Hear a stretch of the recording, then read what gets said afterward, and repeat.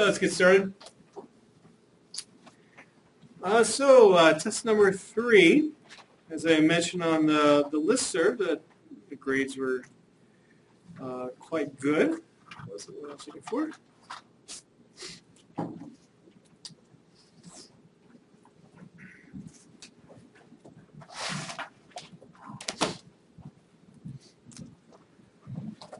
Other than, uh, just as a, as a reminder, make sure you answer the whole question. Uh, other than that, I really don't have any additional comments. They're right up there.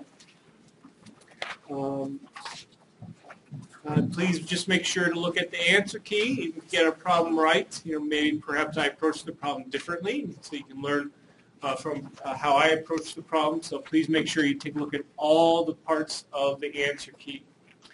Are there any questions about the exam?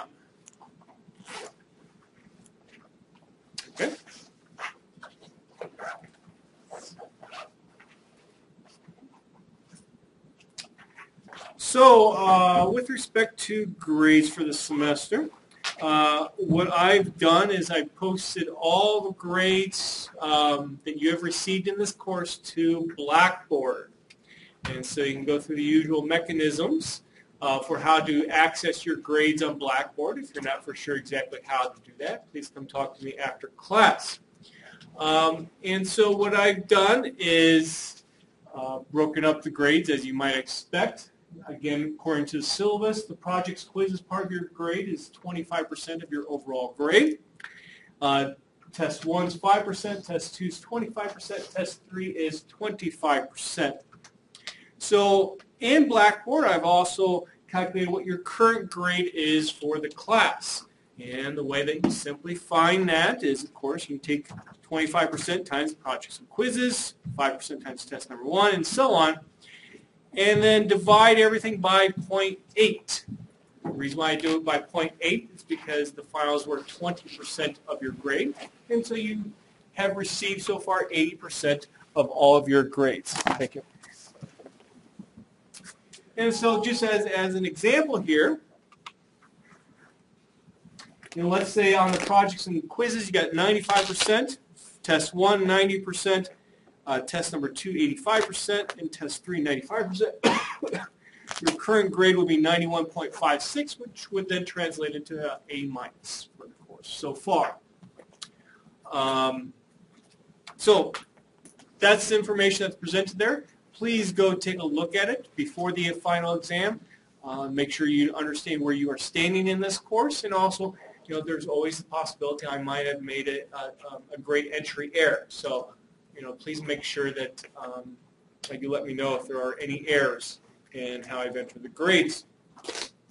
Uh, also, with respect to Blackboard and grades, I can't actually see exactly what you see when you look at your grade.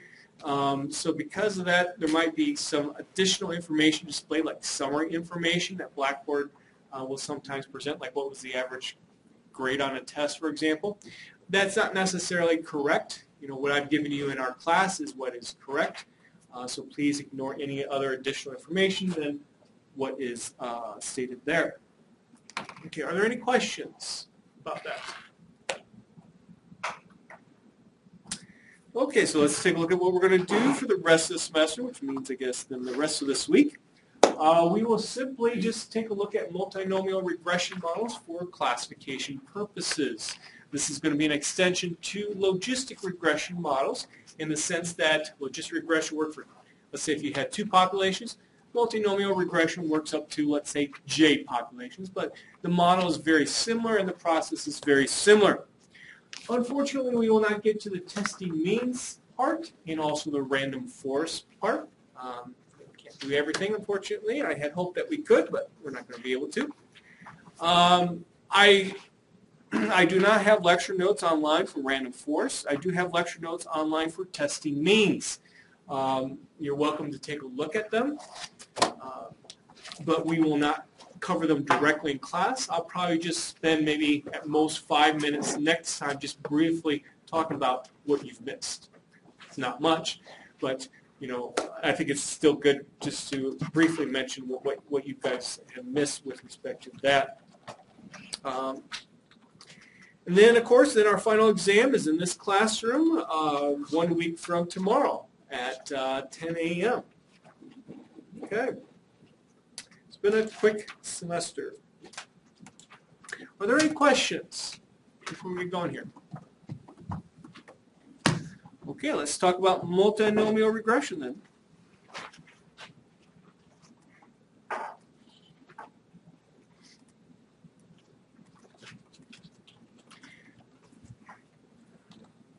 So let's first of all talk about what the multinomial probability distribution is. I would imagine that all of you have had it, but I guess there's a chance that you may not, depending upon if it was covered in your 801-like course.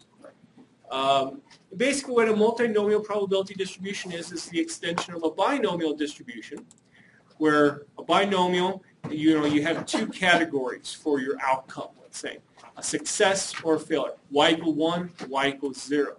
Multinomial allows you to have, let's say, up to j different, let's say, response categories uh, that, that could be up, up observed. And so this is what the, so also uh, let me mention, for those of you who have me for STAT 875, uh, you know, unfortunately there will be some uh, review here uh, over stuff that you've already seen in STAT 875. Uh, we can't necessarily get around it. But in the end, the purpose here uh, for what we're going to be doing with multinomial regression is different from what you've seen in STAT 875. In 875, you're focused more on interpretation of the model. Here, we're, we're, we're focused on uh, classification, determining which population observation came from.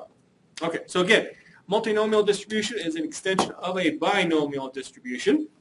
And let me get my red pen out here. So let's let y then be uh, our response that says, well, what category do we observe? J equal 1, J equal 2, J up to, let's say, capital J. And this is what the multinomial uh, probability distribution looks like. let me explain the notation here. Little n here is the total number of trials. So just like with a binomial distribution, you, know, you have n trials. Well, here we have n trials as well. I'm going to use a lowercase n, though, at this moment.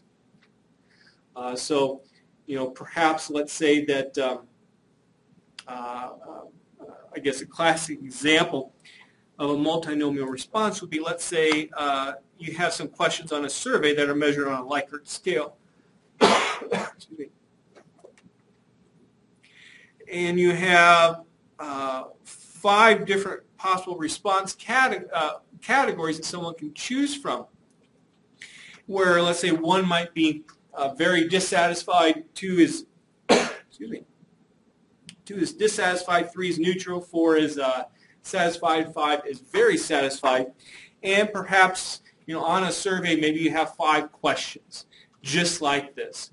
And so a person then then contributes um, essentially five different responses. And if we are just interested in, let's say, their overall summary of all the responses, you know, maybe we might, um, uh, well, we would observe then, let's say, five different responses. And, you know, maybe, for example, you might observe, let's say, maybe, um, you know, uh, let me erase that. You might observe three times a person picked response one, zero time for two, zero time for three, one for four, one for five. Okay? And the way then we denote then that the count of these responses is by these n's again, but we have a little subscript here uh, with the n's to say, well, which category are you talking about? So in this case, n1 is 3, n2 is 0, and so on. Now the probability of having of, of, of choosing a particular response category then is then denoted by pi 1, pi 2, down to pi sub 5 in this particular case. So pi sub 1 is the probability that you respond a 1. Two, uh, pi 2 is the probability you respond with a 2, and so on. And if we put all that stuff together, then this is what the probability distribution looks like. So again, if you're interested in what's the probability someone has an n1 equal 3, n2 equals 0, n3 equals 0, n4 equal 1, n5 equal 1, if you know the pi's, you got the corresponding probability.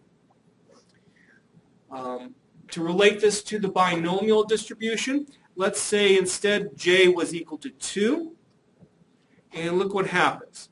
We get n factorial over n1 factorial times n2 factorial times pi 1 raised to the n1 times pi 2 raised to the n2. So it's starting to look a little bit like the binomial distribution that definitely all of you are used to seeing. And we can further simplify this. We can have n factorial over uh, n1 factorial, then n minus n2 factorial, oops, n minus n1 factorial, I should say. There should be a 1 there. So notice since your total number of responses, n, uh, n1 plus n2, that is equal to n, so n2 then equivalently is n minus n1. And we have pi 1. And then we have 1 minus pi 1 raised to the appropriate powers. So 1 minus pi 1 comes about because pi 1 plus pi 2 will be equal to 1, because either you're in category 1 or 2. Okay? So you can see how then the multinomial distribution with capital J equal 2 is equivalent to a binomial. Any questions about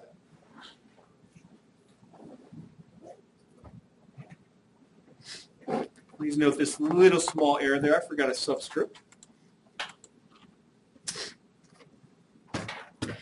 Now sometimes what you will have is actually n observations of n sub r trials for maybe, let's say, everyone in a survey. So let's say if everyone in, uh, participating in a survey, you know, ends up responding five different times, then what you could do now is, again, summarize this using a multinomial distribution, which in this case, then, we end up having a likelihood function where we are taking the product of over all R equal 1 to capital N individuals, let's say, participating in your survey.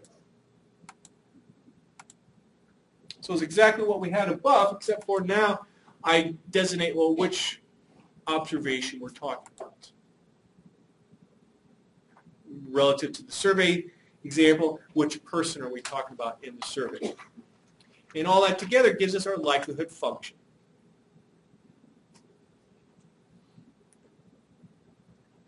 Okay. Now let's extend this idea to multinomial regression. Um, now we're going to let pi here, pi 1, pi 2 down to pi sub capital J, we're going to let that be a function of independent variables, covariates or explanatory variables, whatever you want to call the x's. Just like what we did with logistic regression you know, we allow them the probability of success denoted by pi to be a function of some independent variables.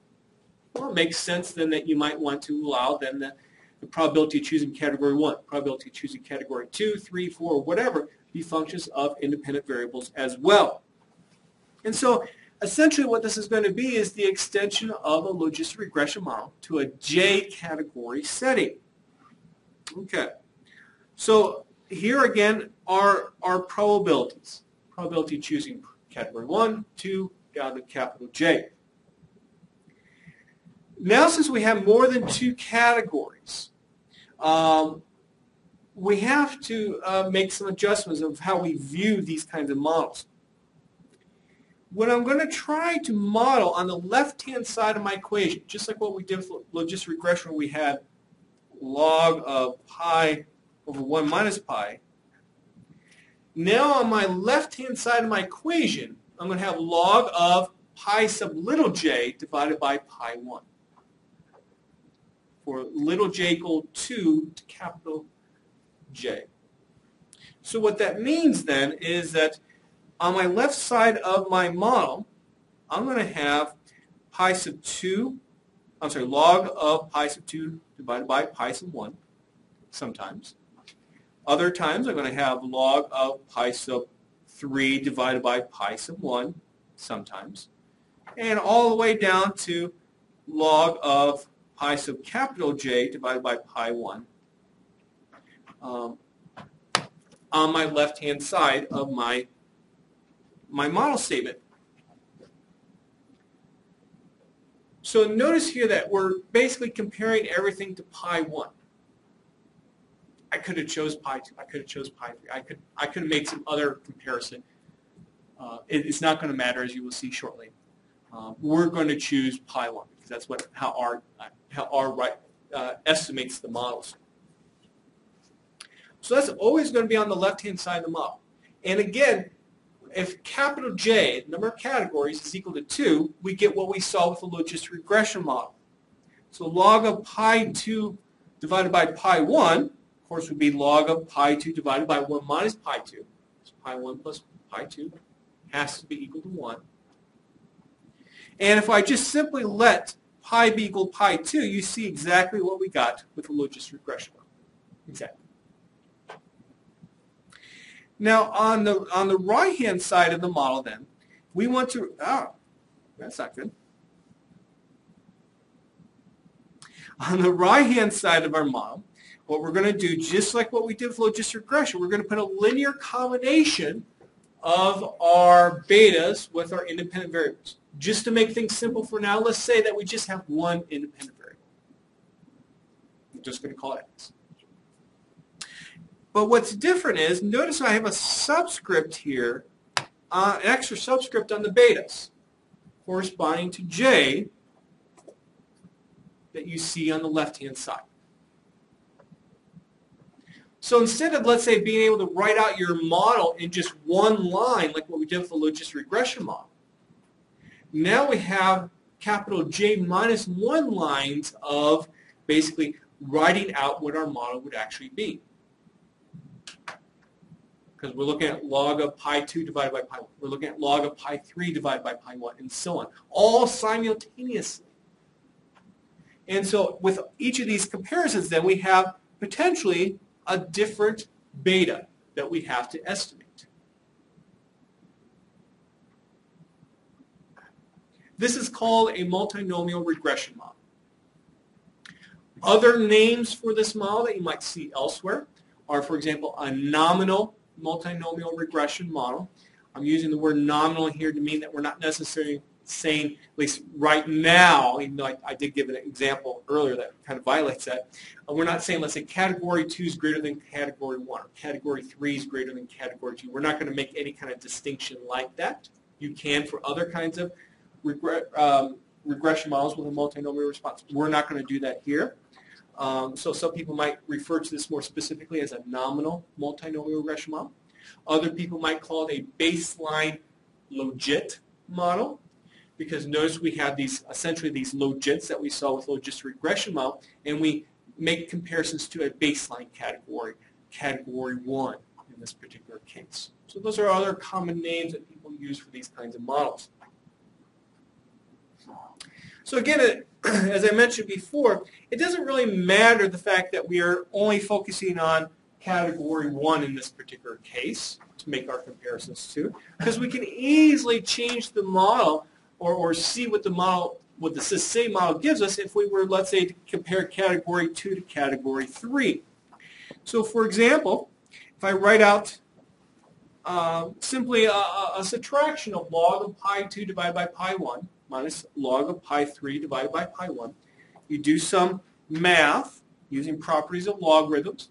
Then you get log of pi 2 divided by pi 3. Well, what happens then to the right-hand side of your, of your model? Well, let's subtract now this linear combination of the betas with the independent variable. So that's what I do. I do a little bit of algebra, rearranging the terms, and now I have the model essentially re-expressed for comparing category 2 to category 3. So that's why it's not a big deal what you choose for the, the comparison category. You can always get to another category, another comparison. Then the extension to uh, as many explanatory variables essentially as you want, let's call it P. And as you might expect, this is what we get. Any questions? Okay, so that's what our model looks like. You might be asking yourself now, well, what if I want to know what is then the probability of, of choosing category one for uh, this situation? What's the probability of choosing category 2 in this situation? Because in the end, you're not really cared about what the log of pi 2 divided by pi 1 is. You want to know, well, what's pi 1? What's pi 2? Well, how do we find that in the context of our model? It's not too difficult. It's just a matter of doing some algebra. Okay. So let's consider the case again where you have one independent variable. Um, and so let me come back up here.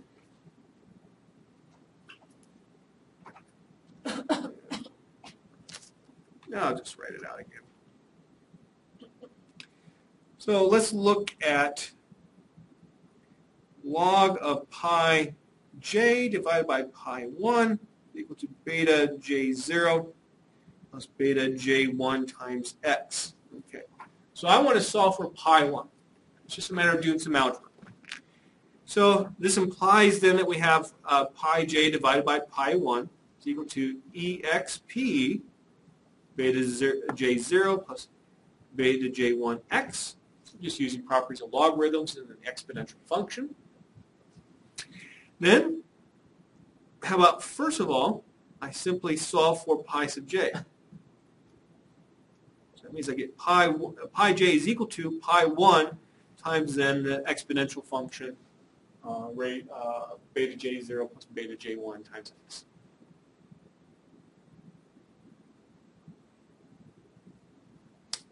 Now here's the, the, the important thing.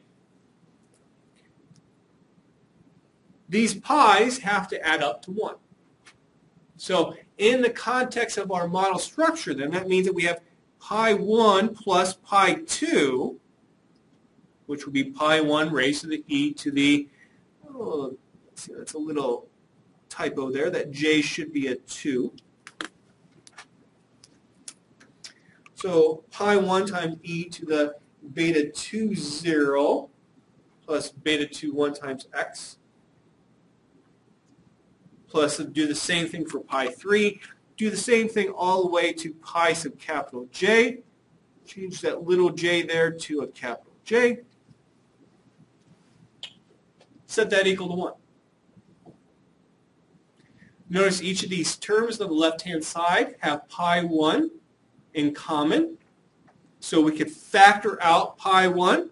So we get pi 1 times then 1 plus this e to the uh, 2 0 plus e to the beta 2 0 plus uh, beta 2 1 times x plus all the way down to the uh, jth category.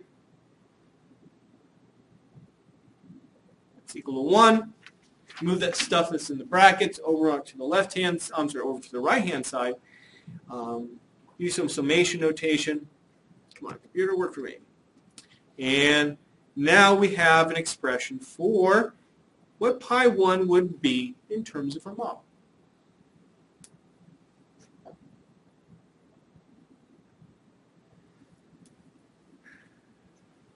Then what we can do is use this expression up here what pi sub j then would be. Just plug in the value of pi 1, and you get this.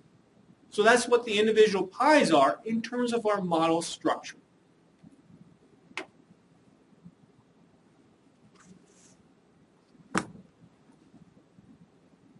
Okay. Now that we have that, excuse me, now we can think about estimation.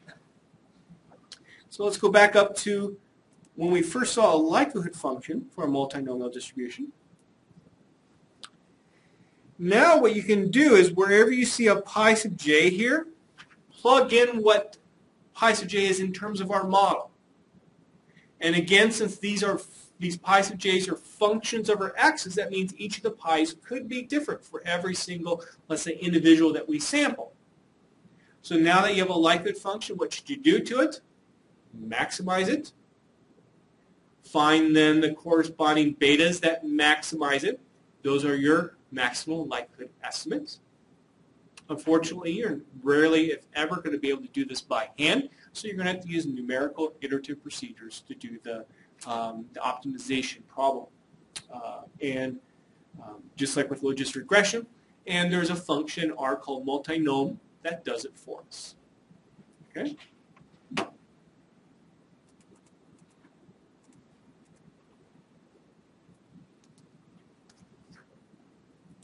This multinom function uh, resides in the NNET package, uh, which actually stands for neural networks. Um, it's based upon uh, the actual coding itself is based upon uh, uh, some relationships to neural things called neural networks. Um, and this NNET or uh, the NNET uh, package is actually uh, uh, installed in R by default. So you don't need to download it. It's already in R itself. And it's um, written by one of our favorite authors of packages, Brian Ripley. Um, so let's take a look at an example of how we can estimate our model. And then we'll get into the main reason why we are actually talking about multinomial regression, and that is for classification purposes. So we're going to look at a example that should look familiar to you. This is the wheat kernels data set that you've seen previously. Uh, all, as you've seen previously, observation number 31, well, that uh, looked to be a, um, uh, an incorrect measurement, so it was removed from the data set. So I'm going to do that here as well. And just to review this particular example, if you remember, we have some wheat kernels and we have three different categories for these wheat kernels. They're either healthy, sprout, or scab. These categories were determined by uh, someone actually looking at the kernels and identifying them that way. And uh, with each of the wheat kernels then, we have some automated measurements taken upon them. The density, hardness, size, weight, and moisture content of the kernels. These are going to be independent variables for us. We also have information about was this wheat kernel uh, from soft red, red uh, soft red winter wheat or hard red winter wheat. So I read in the data, as you've done uh, uh previously. This is what it looks like. Uh, please note that uh, the, the class variable in terms of hard red winter wheat or soft red winter wheat, notice how it's coded as a um, character. we'll talk about the ramifications of that coming up. We have some plots. We have some nice um.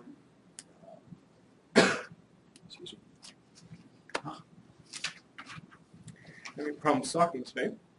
Uh, we have some nice star plots. Um,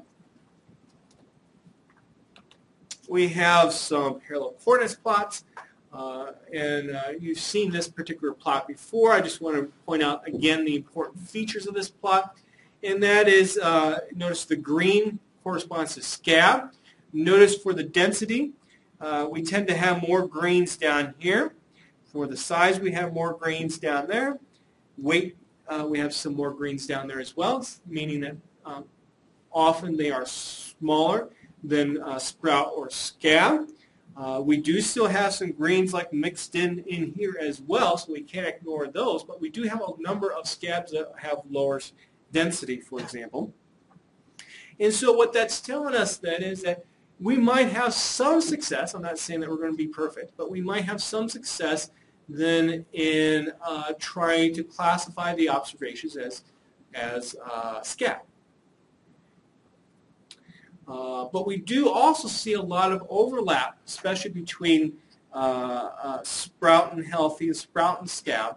We see a lot uh, more so sprout and healthy we see a lot of overlap there saying that, okay, we might have some problems in differentiating between the two. So given that information there, don't get your hopes up that we're going to have a 100% correct classification rate. Uh, some other uh, parallel coordinates plots that I did was, uh, and you can, all my codes in my corresponding program here. Um, uh, another thing that I did here was you know, it's kind of hard to see here. Let me see if I can blow this up a little bit. We'll try that again. Oh, yeah, it's still hard to see, but at least it looks a little bit better. What I did was I, um, uh, corresponding to the uh, uh, the sprout, scab, or healthy type, uh, what I did was I assigned them numbers. So, uh, for example, Sprout uh, was given a value of 2, added a variable to the data set corresponding to that, and then I simply used the, the parallel coordinates plot function in uh, the IC plot package, and so that I could easily highlight those that are numbered 2, and so that we can see that where sprout is throughout the plot. So there's sprout, here's scab, uh, and this is especially illuminating in the fact that you know we see lots of scabs way up there uh, for density, for example, so that while we do have a lot of uh, lower values for density, we also have some middle and even high values of density for scab, which you know potentially could cause us some problems. I also did some parallel coordinates plots as well, as you've seen in the past. You know, uh, three pair, uh, three principal components might be okay. Two, you know, you only get 65% of the total variation taken, but still, you know, it gives you the best two-dimensional representation of your data, so it's still helpful to look at. And this is what we get for those plots. So again, green is scab, and we can see some separation of the greens from the reds and the and, and the blacks, indicating to us once again that we might have some success, but we do still see some overlap of the greens with the reds and the blacks, indicating that, well, while we'll have some success, we'll also have some failures in, in our, in our classifications, most likely. Uh, here's a bubble plot. Uh, nice little version of a bubble plot is I put the, I know it's kind of hard to see, but I, I put the actual observation number in the middle, getting all the codes on my website. Here are some 3D plots of the principal components you know, one of the things to notice here is that it doesn't really look like the third principal component is going to be any help to us in, in, in viewing differentiation between uh, the different uh, kernel types. Okay, so finally then we get to the actual model that we're interested in. So this is what I want to estimate. So how many parameters am I going to estimate? How many betas?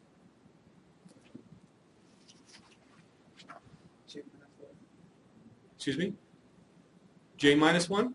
Uh, higher, higher. We'll play Price is Right today. Higher than J minus 1. And notice J, capital J here is 3. So higher than uh, 3 minus 1.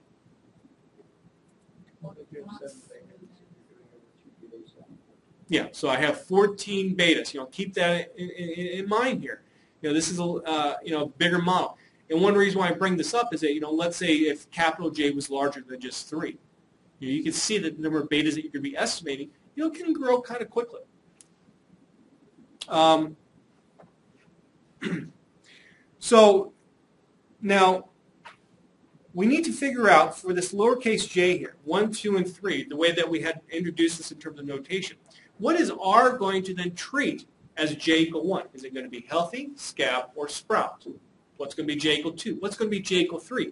And this goes back to what we've seen in the past about uh, understanding how R orders uh, the levels of a qualitative variable. If you remember, it has this numerical alphabetical ordering structure. So 0 through 9, and then uh, you know the lowercase letter is less than you could say than the corresponding uppercase letter. So in this particular case then, healthy is going to be first. It's going to be J one. Next would come scab. Next would come sprout.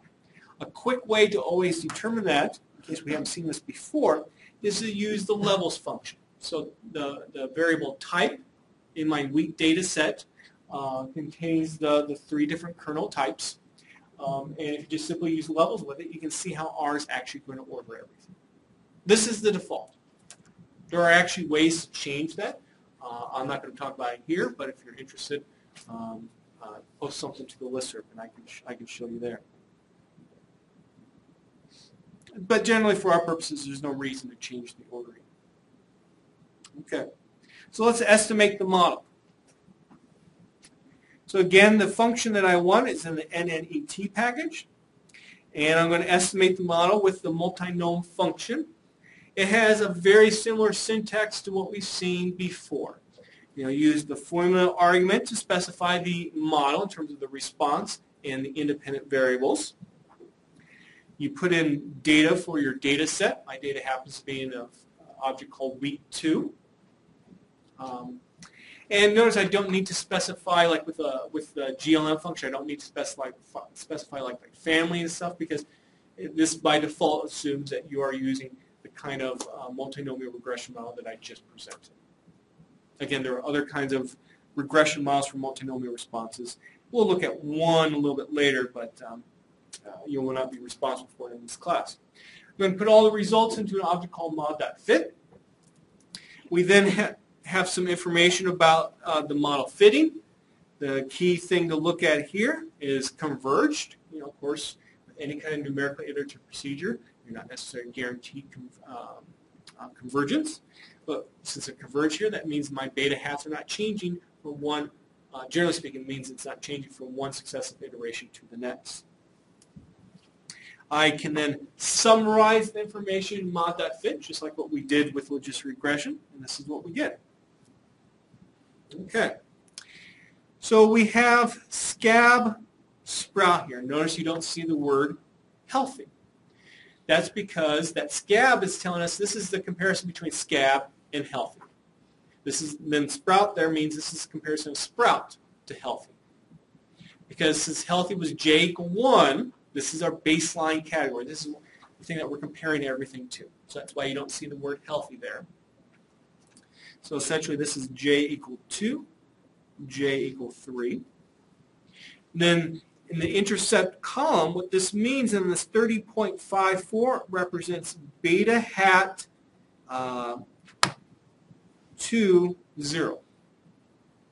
The 19.16 is beta hat 3, 0.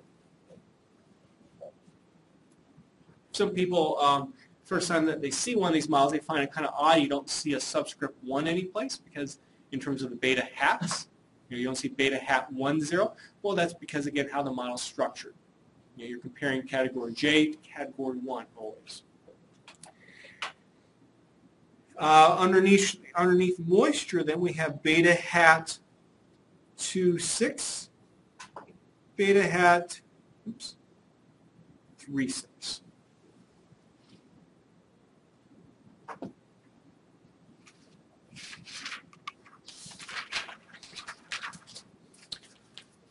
So if I just uh, temporarily uh, jump ahead here, or actually let me do a split screen.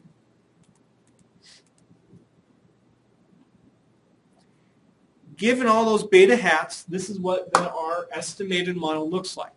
And again, notice how I'm essentially using two lines to represent one model here. You know, first comparing scab to healthy and then sprout to, uh, to healthy. Notice also how I put the hats on top of the pies because now this is my estimated model. Any questions?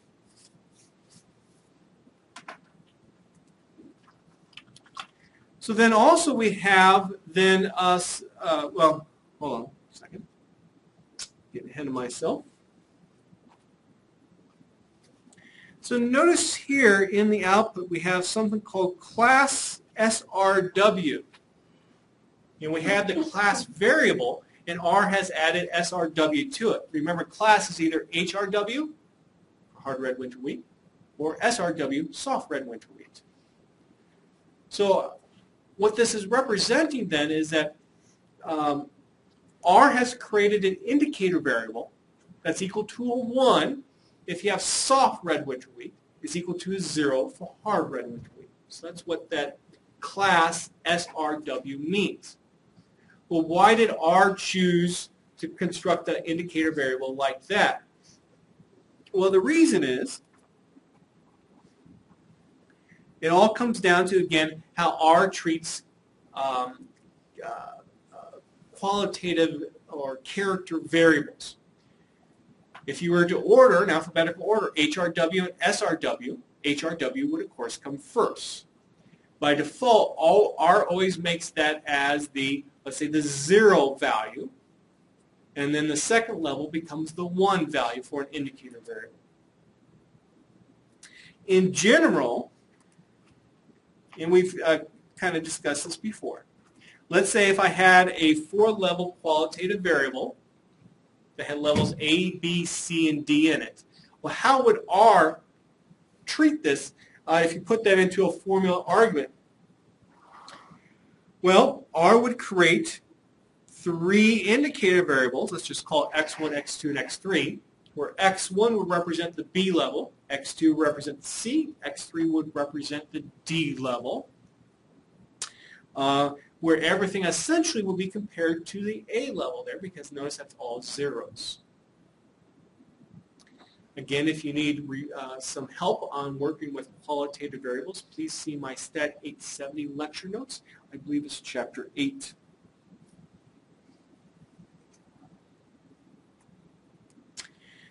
Continuing looking at this output here, we have uh, STD errors.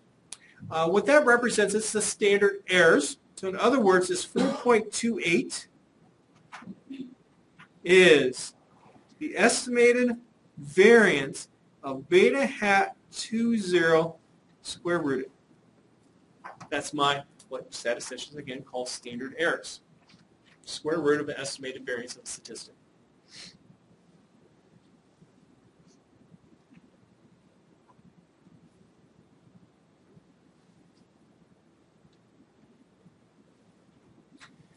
Inside of then mod.fit, the, the object that we got back from multinom, we have a, a lot of information. If you do a names of mod.fit, you can see the information that's actually in there. There's going to be uh, just a few things in there that's going to be very important to us. In particular, the most important thing is there's something called fitted dot values. We actually saw that before with the GLM function. And what this gives you is for your observed data itself, your pi hats, essentially. So for the first observation, pi hat 1, probability you're healthy, is 0.85. For the second observation, I'm sorry, for the first observation again, the probability at scab is pi hat 2. And lastly, probability sprout is pi hat 3.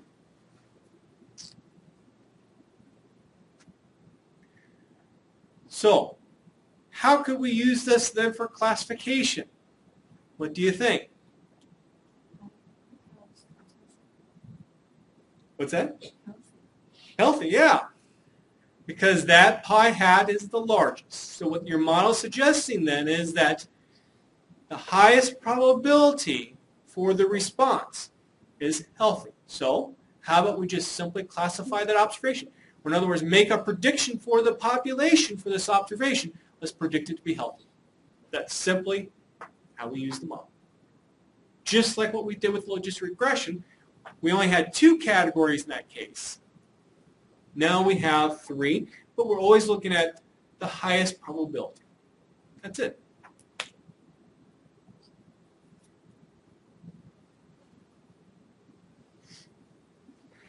And essentially what you see here too is the results of resubstitution. I'll say resub.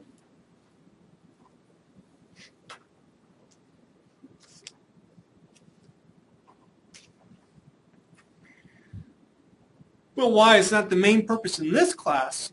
Um, we could still uh, do some significance tests. In other words, suppose that you want to do a hypothesis test that looks like this. The null hypothesis is beta 2i is equal to beta 3i is equal to 0. In other words, let's say for the ith variable in your data set, are the betas equal to 0? Which would mean then that variable wouldn't be needed in the model, versus is at least one of them not equal to 0? We could do a hypothesis test like that. There's a variety of different ways. The way that you're responsible for is to do a likelihood ratio test. If you remember from working with the GLM function, there was a function called ANOVA, capital ANOVA that is, from the CAR package, which provides us the necessary tests. So for example here, for density, this gives us information about the test of beta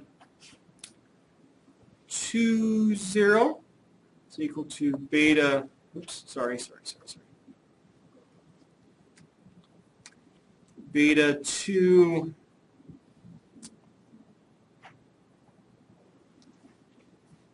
2 beta 32 is equal to 0 versus at least 1 not equal to 0, we can see that the p-value is very small from doing this likelihood ratio test. So that means that there's significant evidence or there's sufficient evidence to indicate that density is important in predicting scab, sprout, or healthy, given the other variables are in your model.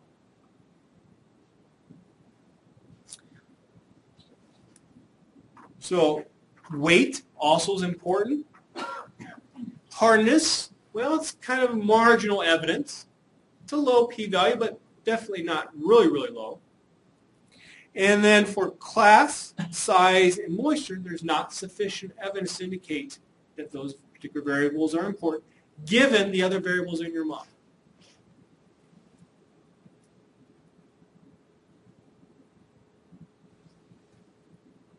Are there any questions?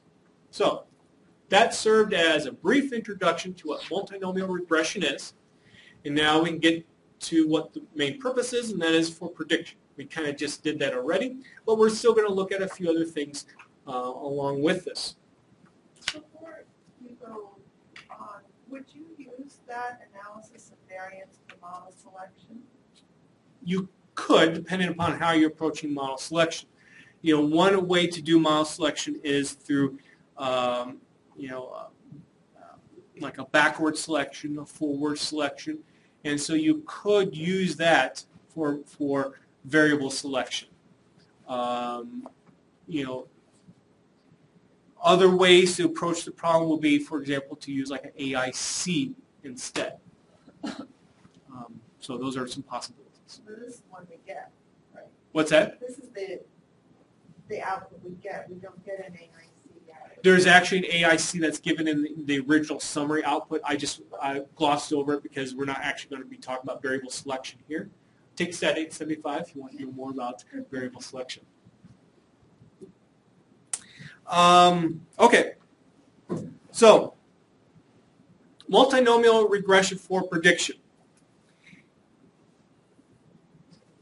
Here's what our pies looked like before in terms of the expressions in, our, in the context of our model.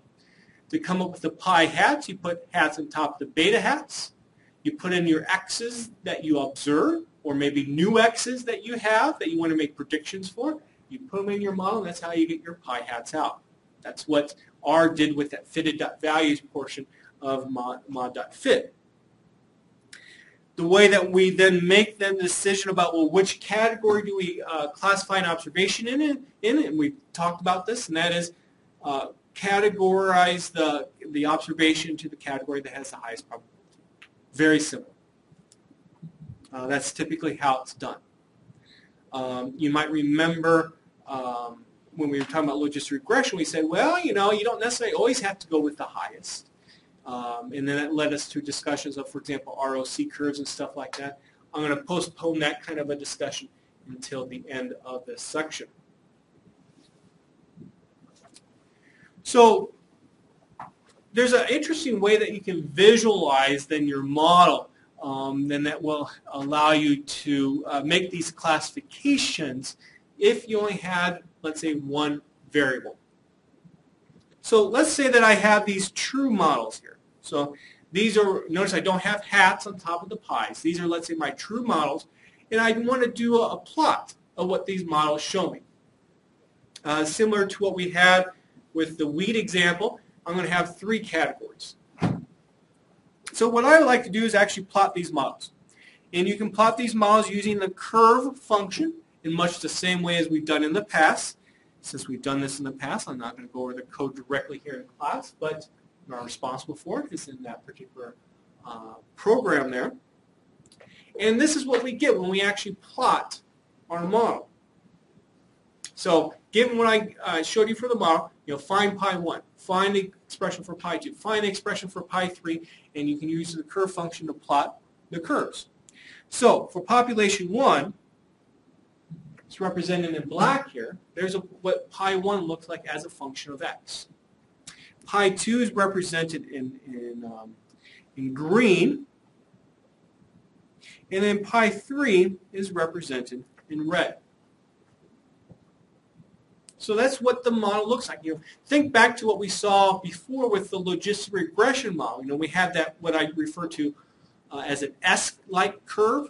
Well, we kind of have that here too, except for now look at the red part there with the pi 3.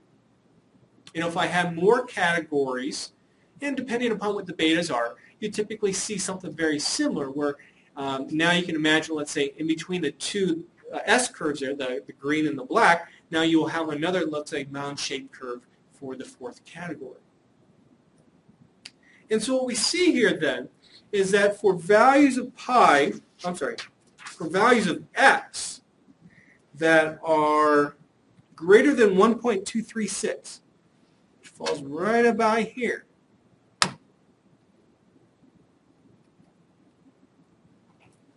we see that the largest probability corresponds to pi 1. So for any x that's greater than 1.236, you would categorize that observation as coming from um, uh, the first population.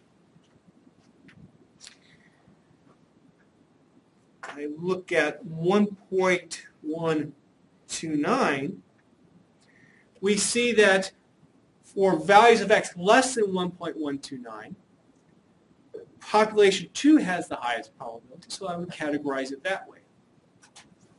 And then between 1.129 and 1.236, we see that the red uh, line there is the highest, corresponding to pi 3, so you would categorize it as population 3. So it's just this just serves as a nice little visualization of what this model shows us. Obviously, the, uh, the, the, the problem with doing this is that you know you need only you can only have one independent variable to do a plot like this. Uh, but what you could do, depending upon the circumstances, is that let's say if you have let's say two variables, x1 and x2, well maybe fix x2 at a, at a particular value, and now do this plot in terms of uh, the pi's versus x1, or vice versa. You know, fix x1, do the plot in terms of x2. And this could be very helpful in situations when you're trying to explain what your model is showing in terms of these categor categorizations.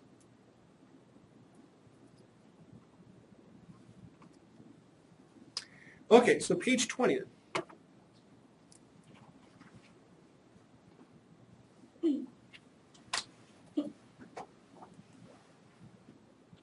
Okay, so let's apply this now to the wheat kernels data set once again. Just to make sure that you're familiar or you follow how we are working with these pi hat equations, let's look at how we would basically approach this from a by hand um, uh, setting. Um, so let's take a look at the very first observation.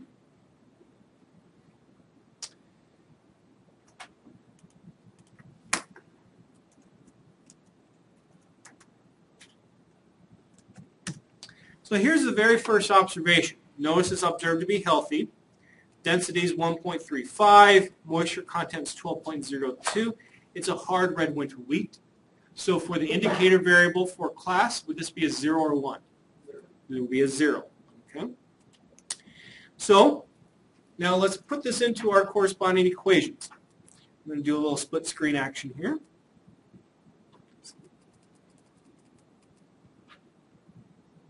So healthy again is the first category.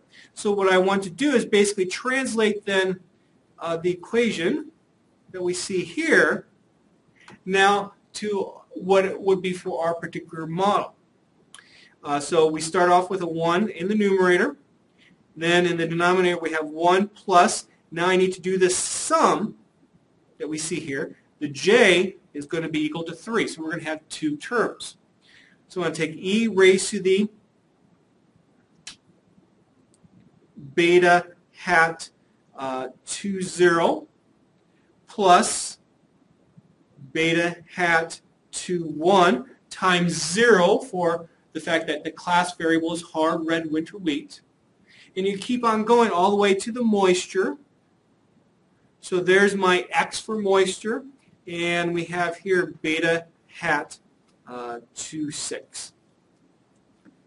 So that's the first term. Then the second term, then, uh, you're basically doing the same kind of calculation uh, for what would be uh, category three, which would be the sprout.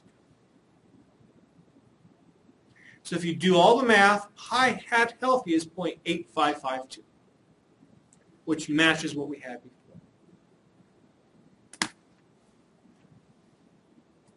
Oops.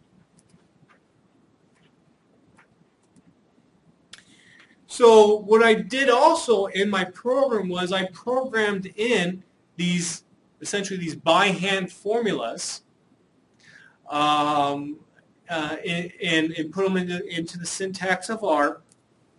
I will let you look at the details on your own and you can see what my probabilities ended up being and how they match what we had before with mod.fit dollar sign.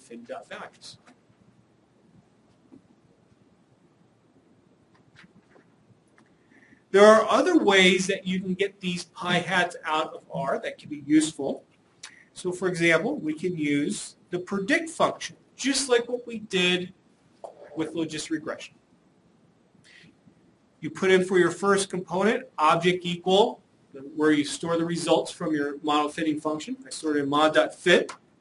And then here's a new argument, type equal probs, meaning I want the probabilities out. I put in an object called pi.hat and look at my results match. Again, this is basically through the result of resubstitution here. A nice uh, other uh, component of this predict function is that you can change the type argument to class for classify the, uh, the observation as one of the J different categories. So I'm going to put the results into classify, and you can see for the first observation, I get healthy, because again, the corresponding pi hat was the highest for healthy.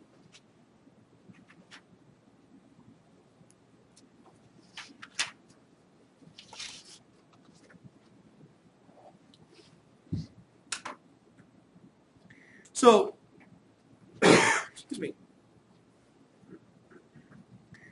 So now let's relate these results to one of our earlier plots, a parallel coordinate plot. So we're going to look at observation 269.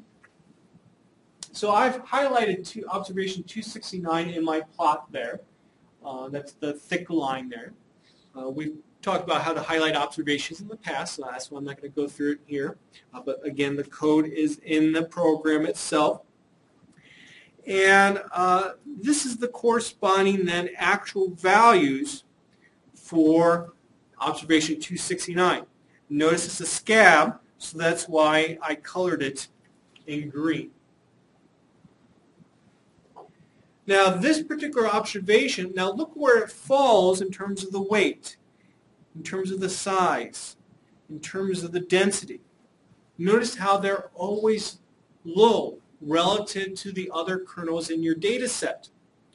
Well, what does then the, um, uh, the model then predict in terms of these probabilities of the classification? So I just pull out observation 269 for my wheat data set.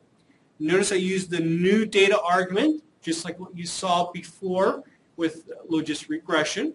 I use a new data argument to say which observation, whether it's new or if it's an old one, I'm only interested in. And we can see, although I've written over it, that the probability at SCAB is 0.99. Now, why did I show you this? Well, hopefully, again, this should make sense that this is happening based upon what we saw in our parallel coordinates plot. That this observation should be classified as scab because you know all around it are just scabs from what we saw in the plot.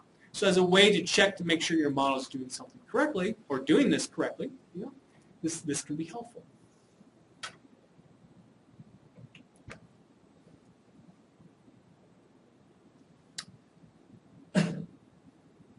Okay, so what about then, how accurate then is this model classifying our observations. What I can do is go back to a nice little function that I wrote along a few weeks ago, you could say. My summarize that class function and use that to once again summarize the classifications. So the actual health, healthy sprout and scab uh, classifications are in the type variable of my week 2 data set. The classifications were obtained using the predict function and put into the object classify. And this is what we get. So healthy, 77% of the time it works. For scab, 77% of the time it works. Sprout, a little bit less, 61% of the time. Overall, my correct classification rate is 71.64%.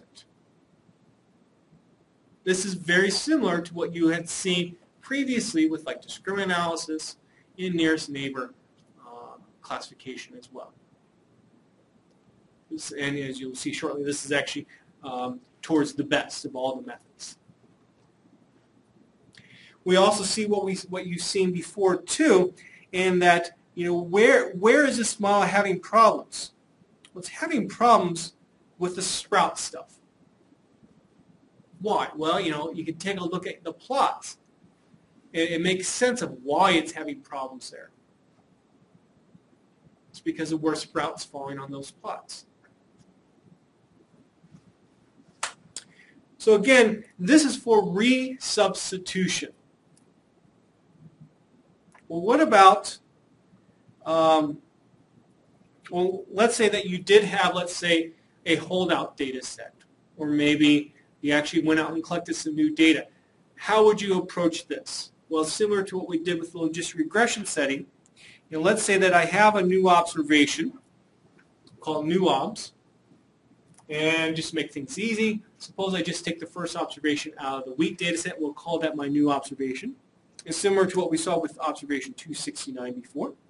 You just use the new data um, argument to predict, get the pi hats out, and then you could also use the predict function with the, um, with the type equal class argument as well. But what about cross-validation? In this particular setting, we don't have a holdout data set. We don't have any new data that we could try this out on.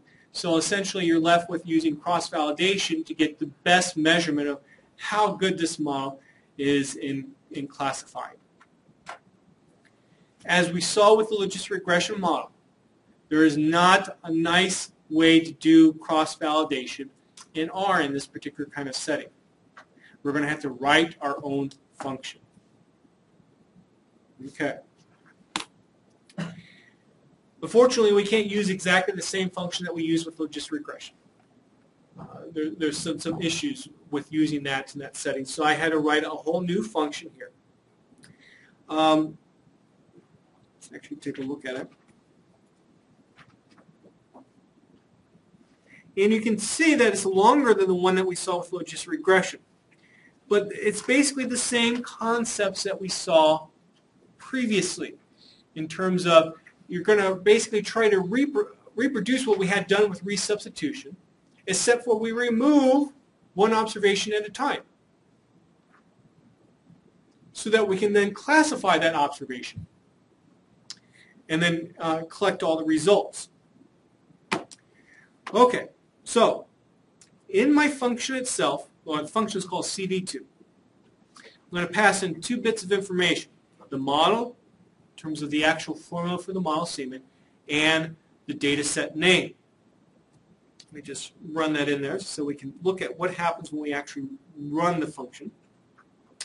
So CV2 model equal what we had saw previously in my multinom call. I just put in the, the function name and also here's my data set name as well.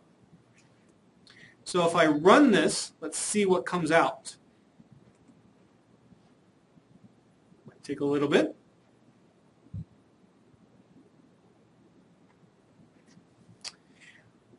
If I do names save.cv, you see that there are two parts that come out, the probabilities and the classification. So here are the probabilities. So for example, for the first observation in the uh, wheat data set, the estimated probability that's healthy is 0.848 and that is from cross-validation. Before, with resubstitution, we had 0.8528. So you can see it's very similar. For scab, before we had 0.0469. With resubstitution, we, I'm sorry, with cross-validation, we have 0.048. And then lastly, for sprout, cross-validation 0.1, and it was just about the same for resubstitution. So not a whole lot of differences. If we take a look at then classified,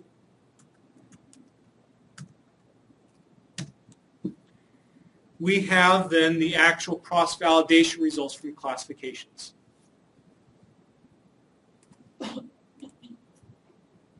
Okay, so let's take a look inside the function itself. First thing I do is I find my overall sample size. And then I will let you look at some of this, uh, these components uh, alone here, or, or, after class. These three lines of code, which I do have you know, nicely commented there, allow me to determine the number of populations that I am working with. Um, if I wanted to, I could have just put in an additional argument here called num.pop, and then actually pass in the number of populations. That's three in this particular case. Instead, I just like I just decided to do maybe something a little bit fancier, um, where I would have the code actually determine it for me.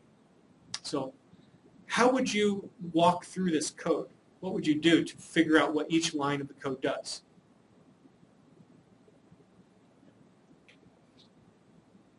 Try it. Try it. How?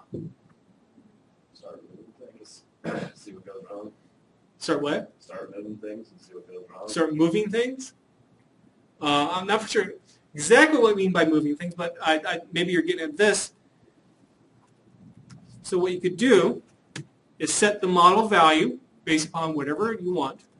Set the data set value based upon whatever you want.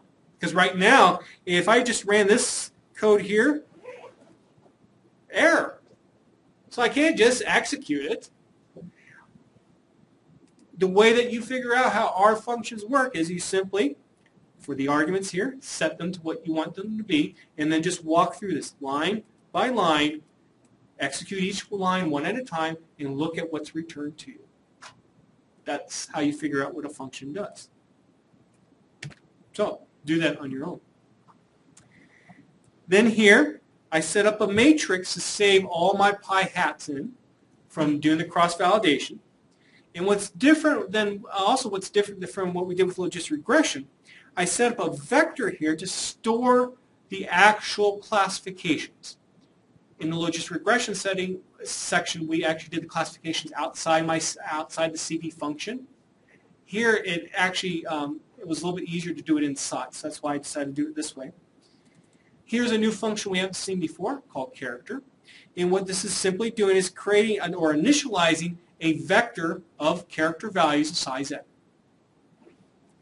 So then, just like what we saw with the logistic regression setting, I do a for loop. I fit my model without the rth observation in it. I find the corresponding predictions using my predict function. So these are all my pi hats. I put them into my pi.hat.cv save matrix. And then also I put the predictions in there as well. In order to format everything nicely, I had to use a, a function called as.character. Character try it without it. You can see that it doesn't work. If you try it with it, it does. And that's, again, how you figure out what this code does. And then I, uh, and then this is my for loop, and then in the end I return pi hats and the, and the classifications. So once I get the classifications, I can run my summarize.class function see what the overall results are. Um, and so for healthy, 73% uh, correct, correctly classified, scab 72%, sprout 60%. And as we would expect, these values are a little bit lower cross-validation than for resubstitution, but they're fairly close to resubstitution. My overall correct percentage was 68%. Uh, with resubstitution, we had 70, about 72%.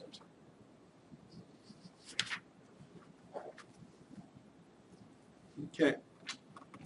Now, similar to how uh, uh, we ended the place kicking example, um, it's always good to, uh, or typically in these kinds of settings, you're going to apply a, a, a number of different classification methods. And you want to then compare how they've done so you can make a judgment of which classification method that you want to use in the end. And so using then um, the same kind of functions that we saw with logistic regression, I, I did a trellis plot to help me summarize the different methods that we've seen so far associated with this particular data set. So on the x-axis here we have accuracy. On the y-axis then we have the different method that was applied. Uh, QDA stands for, again, the quadratic discriminant analysis. We have two nearest neighbor classification methods, k equals 6 and k equals 11. We have the multinomial regression model that we just got done talking about, and then we have linear discriminant analysis. Then in the panels of the uh, Trellis plot, I have overall, overall accuracy, but then I also break up the accuracy in terms of the sprout, scab, and healthy classifications. So we can see here, overall, it looks like multinomial and quadratic discriminant analysis give the overall best results. Not too different from linear discriminant analysis. There might be some justification to use linear discriminant analysis. Um, but you know, it looks like with nearest neighbor, nearest neighbor is not doing as good. And so I would typically, if I'm only interested in the overall accuracy, I'd probably pick from those three. Um, and to be honest, I'd probably use multinomial. The reason being is because it would give me a way to interpret my model, which discriminant analysis really doesn't do a very good job at. I know we haven't talked about interpretation too much, but if you take STAT 875, you'll learn about how you can interpret your model. And sometimes both interpretation and classification are our goals. So for example, in 875, we talk about, you know, what is the effect that density has on these different classifications. And we come up with like a basically a one sentence way to interpret it. Um, and then you can look at sprout, scab, and healthy. So you can see that multinomial does uh, uh, essentially the best with um, healthy, but then it starts to uh, not do as well with scab as compared to, let's say, quadratic. That's where its its strengths are. And you know, if if you're really concerned about, let's say, one of these three different classifications, then this, this plot then could really help you focus then on determining, well, which method to use. Are there any questions? Okay, that might be a good place to stop then. We have just a few more pages to go in these lecture notes. Uh, then we will uh, briefly talk about the testing means section. Uh, you don't really need to print off the notes. You're welcome to if you want to, but you, um, you don't need to print off the notes and bring them to class. We'll talk about the testing means section for five minutes, and then we'll just simply review for the final exam. So please come prepared to ask questions if you have them. Okay? That's it for today.